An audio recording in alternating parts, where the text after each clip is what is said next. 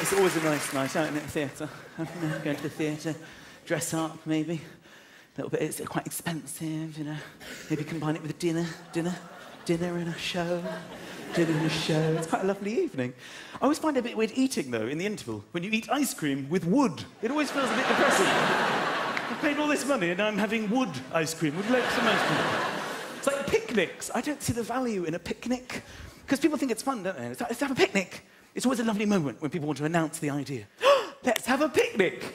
And for some reason, we're programmed as British people to be incredibly enthusiastic about the prospect. So, oh, yes, yes, let's have a picnic. We're going to have a picnic, guys.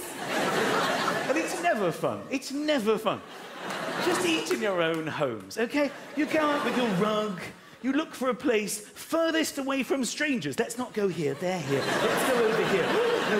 No, over there. What about this? This, this seems okay. Just stay at home. There are no strangers there at all. And then off you go with your rug. It takes a few attempts. The wind blows it back. No, come on. It's okay. No, I'll get there in the end. All right, get it. All right, jump on it. It's fine. You hold that bit down. And then comes a very big challenge for men, because it doesn't matter how hard you are how macho you are. It is impossible not to become extremely camp as soon as you get down for the picnic. Men are completely restricted by the picnic pose. You can't really do. this is basically it. This arm is for stability. This one is for grazing.